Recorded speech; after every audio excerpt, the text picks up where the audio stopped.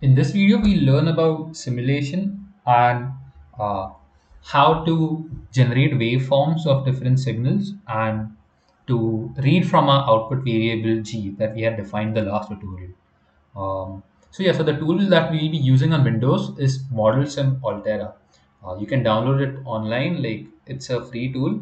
It's called Intel ModelSim Altera. We'll be providing a link on Piazza as well. You can this for you can use this for Windows. For Ubuntu, there's uh, another simpler tool, and if in case ModelSim uh, doesn't work, then you can use uh, that tool on Ubuntu. Uh, for Ubuntu, I think that tool is recommended. Uh, anyway, so let's begin. So in the last tutorial, we had defined this test bench over here and we were varying x1, x2 and we wanted to read from G. So we were waiting for one nanoseconds as well.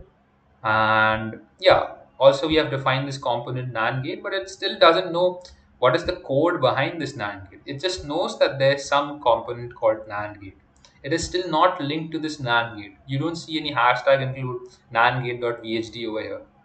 So that will be done by uh, yeah ModelSim. So the first thing is to uh, yeah. So the first thing is to open ModelSim Altera.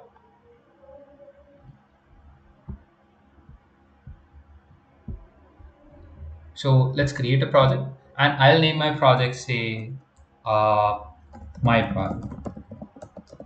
An important point is that you uh, like if you like it's recommended to not save in the same directory as the installation directory because uh, it sometimes causes problems. It was causing problems for me. So i just created a new directory called projects over here. And yeah i'll just select this folder over here. So yeah so do changes if, if it causes issues for you and we just create this project and the project is created. So the next thing is we want to add our files, VHDL files to this project. So we just click on add existing files and um, yeah, and just select these two files over here, our NAND gate and NAND TB. We just click over here on open and just add those files. So these are the two files that we want. And the next thing is you, you would want to compile these two files. So we just click on compile and compile all. So the, the files compiled with no errors, uh, which is pretty nice. So yeah, so the files have been compiled, but they are still not linked. So the next thing is to simulate our files. So uh, yeah, so the library which we have named for this project is work. So over here, if you look over here, like there's this library called work. So I'll just uh, open this. And remember that the class inside the class or entity inside the test bench is doing the simulation work.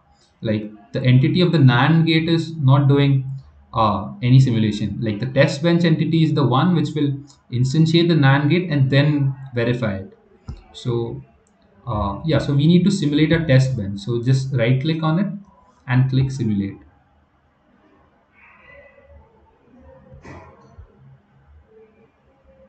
So yeah, so clicking on this will open this up. So this is the, on the right side, you can see there's some uh, black window and yeah, so so yeah, we see, pretty much like our signals which we had defined x1, x2 and g over here, but we don't see anything over here.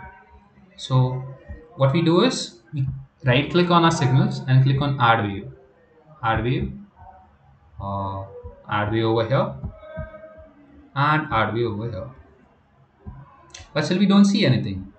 So that's because we haven't run our simulation. So so before running a simulation, you would like to define the length of a simulation, the time of a simulation. So remember that we have we were waiting for one nanosecond after every uh, change in the input. So because we changed the input four times, this should run for a total of four nanoseconds. But I'll uh, still keep it say around uh, 10 nanoseconds, right? And after keeping this, we'll just run our simulation. So let's call run on a simulation. And yeah, so it has generated some waveform on the right side as we can see. And I'll just scroll to just uh, yeah, just see what is happening over here. Yeah, So if we look at it, at what is happening exactly. So from 0 to 1 nanosecond over here, like in this period, uh, the value, so the values of x1, x2 and g can be seen over here. So x1 and x2, both of them are 0 and g is 1, which is expected because it's a NAND gate, right? So only for 1, 1 it will be uh, 0. So this is 1 over here. For 0, 1 as well it is 1. For 1, 0 as well it is 1 and whenever x1 x2 become 1 g is becoming 0 and this is at the fourth nanosecond as expected and after that it will repeat itself so okay so the process the the things that you write in the process they uh, repeat themselves uh, for like yeah they repeat themselves indefinitely so that's the reason you specify a, a simulation length over here so that's the reason yeah so that's why that's why they'll repeat themselves over here so it looks like the waveform is correct. And yeah, so that's how you check and read from G, like the uh, if the value is correct or not. Um, yeah, so that's pretty much how you simulate in uh, ModelSim Altera. And yeah, that's pretty much it for this tutorial.